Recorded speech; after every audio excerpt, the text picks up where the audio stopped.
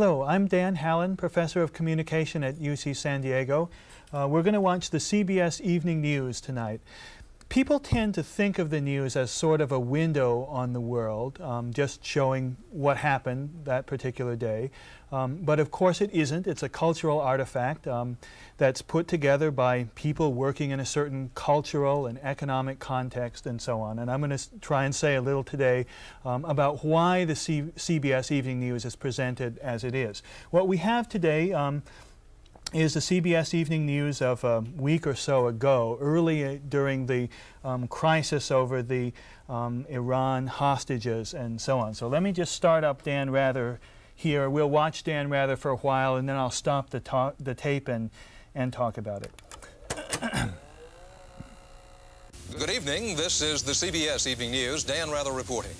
A new Los Angeles Times poll just released indicates only 14% of the American people believe what President Reagan has told them about his weapons deals with Iran. As part of his continuing damage control operation, Mr. Reagan today began saying that he will send no more arms to the regime of Ayatollah Khomeini, at least not for now. White House correspondent Bill Plante has our first report. Will the U.S. make any more of those controversial arms shipments to Iran? President Reagan, posing today with the Argentine president, seemed to rule it out. We have absolutely no plans to do any such thing. What the president did not say is that he could still send arms to Iran anytime because his secret order authorizing earlier shipments remains in effect. Mr. Reagan was asked if he would fire Secretary of State George Shultz, who has made it clear that he opposed those shipments. White House insiders take that to mean that the jobs of Chief of Staff Donald Regan and National Security Advisor John Poindexter, who masterminded the U.S. contact with Iran, are also safe, at least for now. Regan denies any split inside the administration, but makes no apology for cutting Shultz out of the operation. Secretary of State had his say. Now, uh, once the program got initiated, it was not run by the State Department, and therefore it was only occasionally uh, that he was brought up to date uh, on how the uh, operation was proceeding. If you cut out your major agencies, you are going to have the kind of comedy, not, not very funny comedy of errors you see in recent months.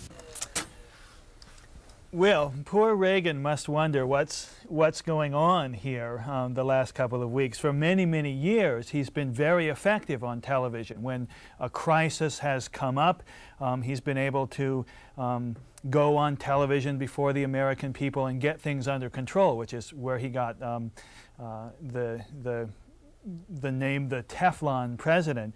What's happening here is that the media tend to blow with the political winds.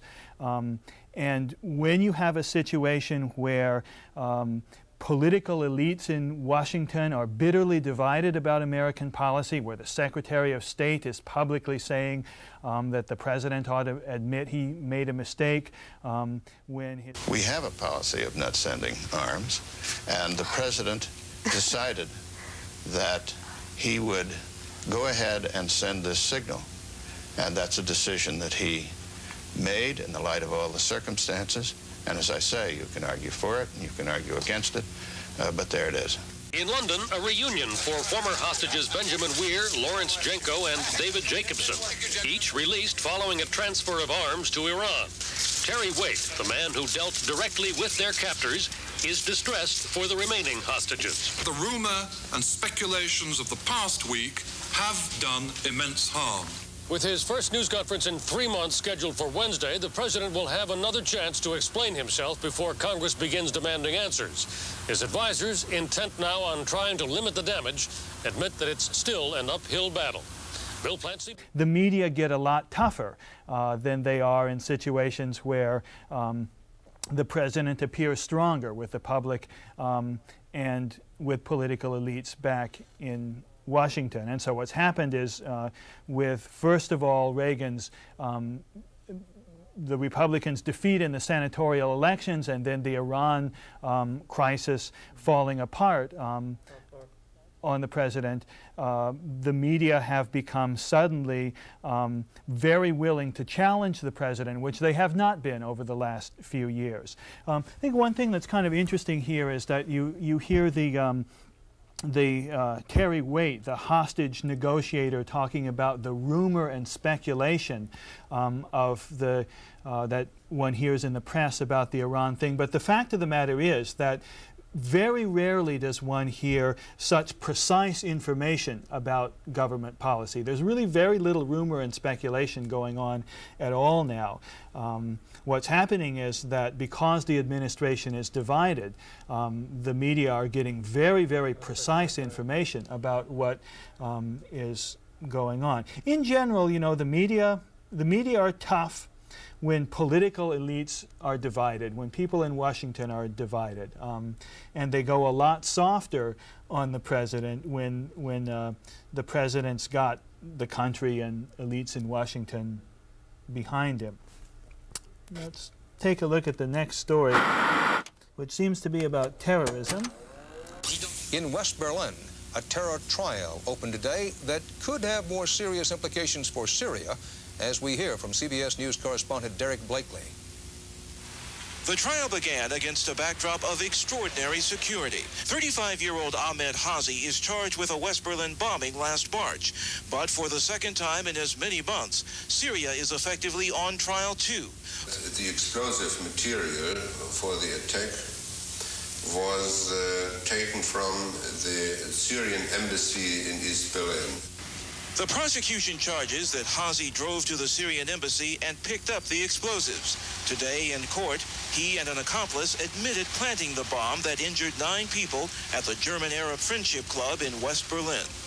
Prosecutors say the plot was directed not by Hasi, but by his brother Nezar Hindawi, who was convicted of trying to blow up an Israeli airliner last April.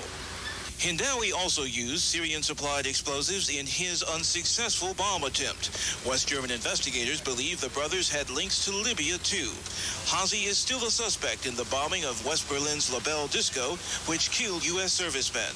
That attack triggered American airstrikes against Libya. Derek Blakely, CBS News, West Berlin. When we come back, Wall Street's widening scandal of the century and the ecstasy of victory for what may be one of the smartest football teams representing any American college. So there's a, a little more about terrorism there. Part of the Reagan administration's problem, of course, is that it's in a way um, a prisoner of its own rhetoric here. Um, the administration has worked very hard over the last few years to focus the media's attention on terrorism. Um, and um, to sort of build up this image of the of the great danger of terrorism. I like the the uh, drawing there of the terrorist suspect looking um, so very evil and sort of crazy. Um, and of course, what's happened is that when they have tried now to shift back from that kind of rhetoric and deal in a political way um, with a government that is in fact involved with terrorism, um, they find themselves prisoners of their own rhetoric, and, and uh, it's possible for the Democrats to, um, they're most happy for the opportunity to switch places with Reagan and portray him as being the one um, who's soft on, on terrorism. And of course, you know, to a large extent, the reason terrorism has become such a big story for the media um, is because people in Washington have really emphasized terrorism. So we'll zip through the commercials now and, and see what's in store for us next.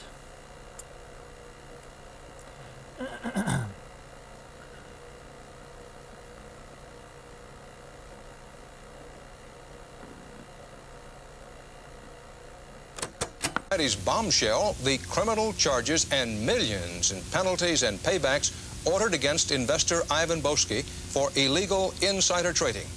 CBS News business correspondent Ray Brady reports some of the biggest questions in the financial world today are what's next and who's next? Wall Street today was bracing for the fallout from what one broker called Wall Street's scandal of the century. The admission by giant investor Ivan Boesky that he made $50 million through illegal stock trading. One brokerage firm said today it's been subpoenaed.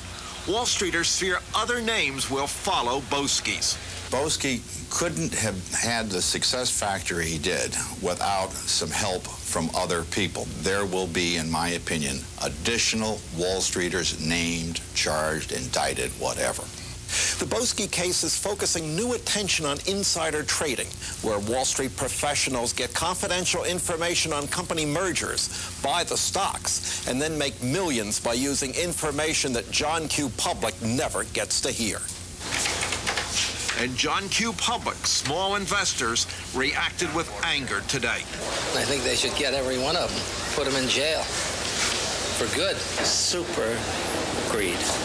No doubt about it. In an era of financial deregulation, of giant money-making mergers, one of Wall Street's biggest names said today Washington simply hasn't hired enough securities policemen to keep Wall Street honest. Because people do tend to take advantage uh, when they do not have the proper surveillance. When the final bell rang today, the Dow Jones Industrial Average was down just over 13 points in moderate trading.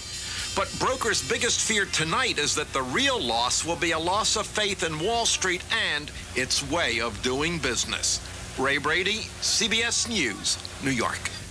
What began as a in a way, what's really interesting about this kind of story is how unusual it is, how unusual it is to get a little um, bit of an inside look at Wall Street and how it works. And this is, again, I mean, in, in a way, this story is like the Iran story. Um, in that here is a case where a major fight is going on um, within a powerful American institution, an institution that um, normally we don't see a lot of the, the internal workings of um, on our television screens. And it, it, really makes for some very unusual television um, where we are seeing what we normally see about Wall Street is very simply the, um, the numbers every day that tell us whether it went up or went down. In general, um, American television doesn't cover business very much, doesn't cover economics particularly much.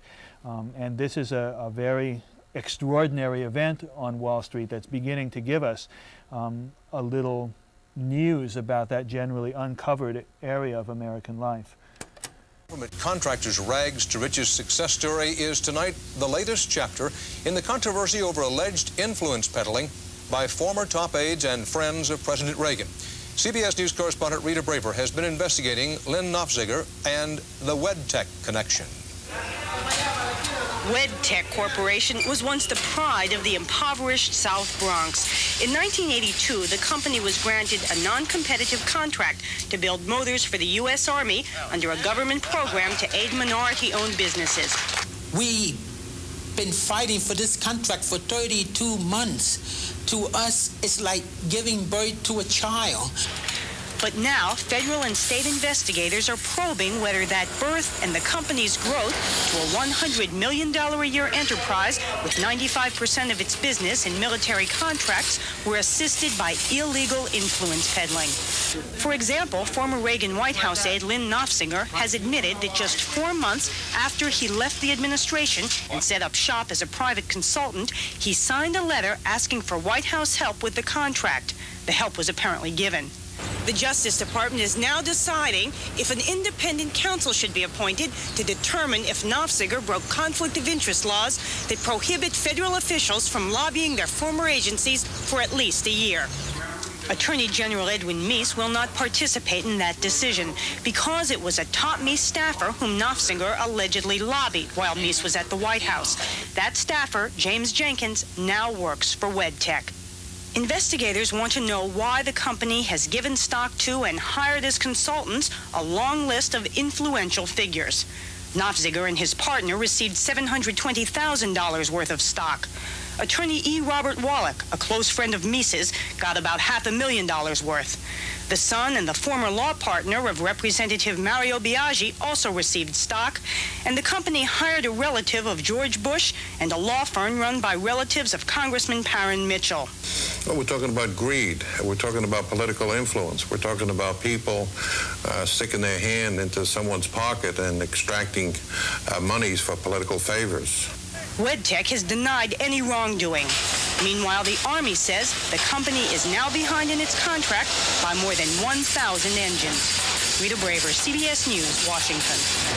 AT&T Somebody was saying today that, that the news these days is kind of like a Doonesbury come to life, and that, that really seems true. I think that things will be very hot for Lyn Nofziger and, and people like that, um, much hotter than they would have been before all of this stuff with the Iran hostages came out, because the media are now in one of their uh, tough journalist moods, where they're really into uh, investigating this kind of thing and things that might have um, slipped under or been swept under the rug, um, I think are likely to get a lot more and a lot tougher coverage in, in the current political climate. Korea's dictator remains a mystery. Has he been assassinated? Is he dead at all? There were widespread reports last night that he had died some kind of violent death. In Tokyo, Barry Petersen has been following this strange story from the strange country that is North Korea. At Panmunjom today, the North Korean flag was flying at full staff, revealing nothing. But elsewhere along the demilitarized zone tonight, North Korean propaganda loudspeakers once again broadcast that Kim Il-sung is dead. South Korean officials tonight said they were almost certain Kim was assassinated. Security was stepped up in Seoul and residents told to remain calm. Japanese businessmen in North Korea's capital of Pyongyang said life was normal and preparations are going on for tomorrow's visit of a Mongolian communist delegation. Kim is expected to appear. In Tokyo, a North Korean official called the reports a demagogic plot by South Korea. But the mystery deepened when Vietnamese communist officials said they had been told Kim was dead. It turned out, of course, that Kim did appear the next day to greet the, uh, the leader of, of Mongolia. And there's probably some very interesting story about where this report um, of the North Korean leader being dead, where that report came from. Probably somebody somewhere um, was trying to manipulate the media um, for some kind of political end, to stir up some, some kind of unrest in North Korea or something like that.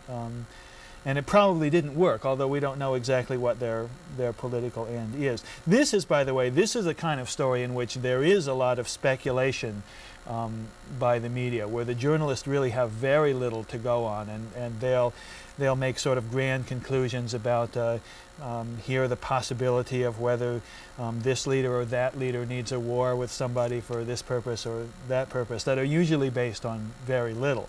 Um, and of course, what you have to know about a reporter in a, on a story like this is that this guy um, covers probably all of Asia um, and hops around from one country to another. And when something happens in Korea uh, and he suddenly has to go to Korea or possibly even cover it from Japan, he has really very little background and very few sources um, to go on on a story like that. And television tends to be worse that way than newspapers just because um, television crews are expensive and TV just doesn't have as many um, reporters as, say, the New York Times or the Washington Post. So they're spread a lot thinner. Um, and a lot of foreign reports have a lot of, uh, um, lot of very speculative and, and a lot of really very vacuous commentary. And they're also much more susceptible to rumors that, that turn out to be false. Years as North Korea's unquestioned ruler, the older Kim managed to construct a cult of personality dictatorship second to none. Kim Il sung, the great ruler, as he is called, remains larger than life. Does he ever? His image and imprint are everywhere, everywhere, dominating not only what North Koreans see, but how they think and live and die. His philosophy of self-reliance has fostered an isolationism bordering on the bizarre. Countrymen flock to this palace, devoted entirely to the writings and studies of the great leader and his 44-year-old son, the beloved leader.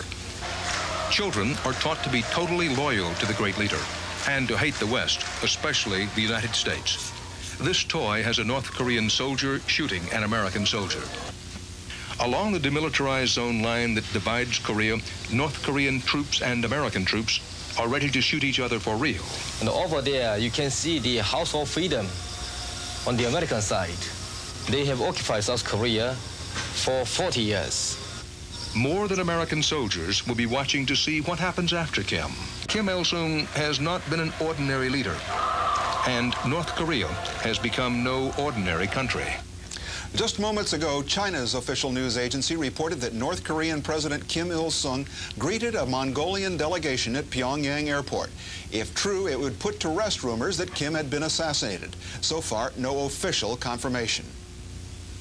There, this is, of course, we are watching the Western edition of the CBS News, um, which is broadcast um, several hours after the, the taped CBS Evening News has been broadcast on the East, so this was added there. The story before um, is very typical of, of television stories um, of the East, of communist countries, um, which are generally very highly stereotyped, and, and I think um, usually a kind of a mixture of fact and fantasy about these um, these societies. And very often, if you think about the stark kind of contrast that they draw between East and West, um, it's questionable in a lot of ways. And so, for example, um, what comes to my mind when I think about uh, the little toy that, that shows the uh, um, you know the the person shooting at the American soldier or whatever it is. What I what I think about um, is the Rambo toys that you can buy um, in American toy stores,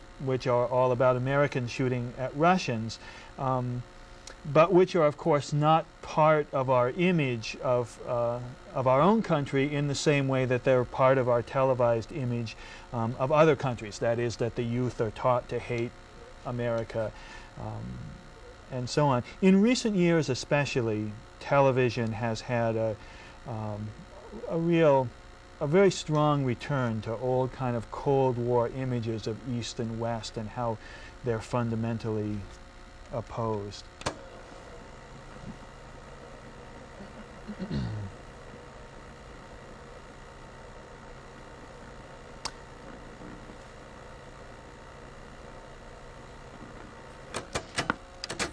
Looks like we have time for one more story here. Cut down the danger of a deadly common form of heart disease. The evidence came at the annual meeting of the American Heart Association, and CBS News correspondent Martha Teichner was there.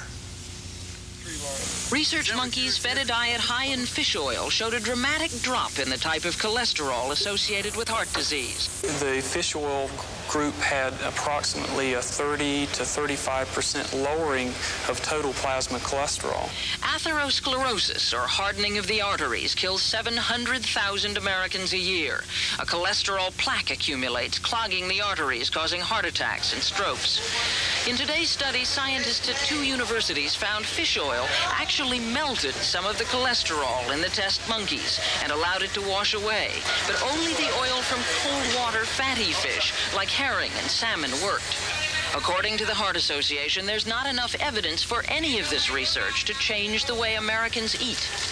But the lack of human research hasn't stopped major pharmaceutical companies from getting into the fish oil business. The new research findings urge caution, but there is no doubt they will be used to sell more fish. Nice rock out, swim its way into your heart. Martha Teichner, CBS News, Dallas. Researchers told the Heart Association. That's a story that's partly in there really for entertainment purposes. There's a lot more news about um, about health, among other things, on on uh, television these days, and that's in part because. Um, the networks, the television business has become a lot more competitive. Um, and that's one of the things that their market research shows that, that people are really interested in, much more they're in, than they're interested in politics. Um, the health news, a lot of it is, is actually pretty important news. Along with that health news, um, there are also um, tend to be a lot of kinds of little, little boys and puppy dog stories, if you like um, which are put in there um, for entertainment purposes and are often about some kind of silly thing, um, not with uh, with really very little information value. Probably, if we watch to the end of the CBS News, we'd see one of those. Um, it's been half an hour now, and I need to go home and and uh, um, watch another night's news. I understand that there are some interesting developments coming up. So, with that, I'll I'll say good night. So that's the way it was a few months ago when the uh, uh, Iran-Contra and the insider trading and the WedTech scandals began. Uh, wonder if Ed Meese will be put in preventive detention now. Um, where are we now? In a way, the focus of attention in the Iran-Contra scandal has narrowed with the beginning of the congressional investigation. It's narrowed to the legal questions. Uh, what did Reagan know and when did he know it? Did Elliott Abrams lie to congressional committees? Um, and it's turned away from the policy questions about selling arms to Iran uh, and supporting the Contras. One thing that's interesting is that there's been very little coverage from Central America as the Iran-Contra scandal has developed. CBS actually fired the only network correspondent who actually lived in Central America. Still, the political mood of the country has changed a lot since these scandals began. The new patriotism that was so strong in 1984 and 1985 after Reagan's reelection, that's gone. Uh, malaise is back. Remember malaise from the Carter years. Congress is in a somewhat restive mood, uh, saying that it's going to reassert control over foreign policy, um, although only to a limited extent. They don't really want the responsibility. Um, there were also very important sleeper issues lying beneath the surface of the Iran-Contra scandal, the most explosive probably being uh, the charge aired most prominently on CBS's West 57th that the CIA had hired drug dealers to run guns to the Contras and in return allowed them to ship drugs back to the United States, maybe even landing them at Homestead Air Force Base that's the kind of story that the media will do once, um, but it won't become a regular story until Congress takes it up. If Congress does take it up and it turns out to be true, that may well be the end of the Contras.